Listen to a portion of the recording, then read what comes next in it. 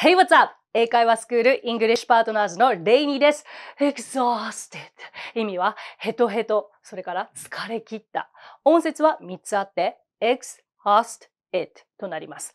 アクセントは A の上につきます。発音の練習を一緒にやっていきましょう。exhausted はい。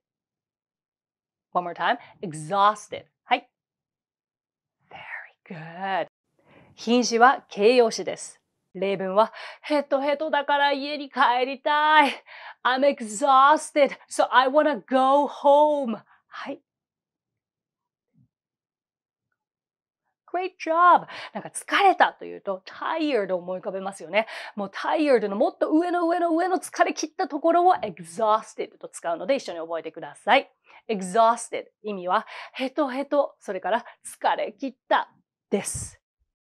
出張英会話レッスンなら、イングリッシュパートナーズで検索、オンラインレッスンもやってます。